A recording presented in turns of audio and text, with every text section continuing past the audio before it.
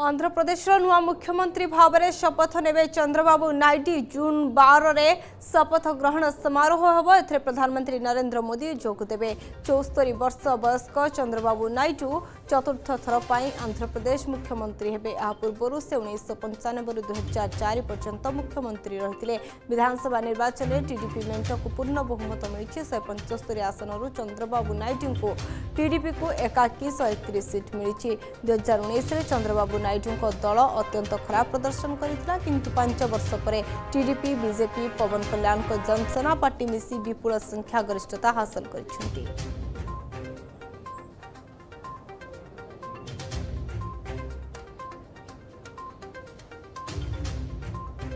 संभवतः 12 जून को चंद्रबाबू नायडू साहब का शपथ ग्रहण समारोह होगा, जिसमें माननीय प्रधानमंत्री जी को भी बुलाया गया है और अन्य नेता भी आएँगे। उसके बाद ही जो भी होगा निश्चित समय पे और निश्चित डेट पे वो कैबिनेट का गठबंधन होगा। देखिए, ये सब्जेक्ट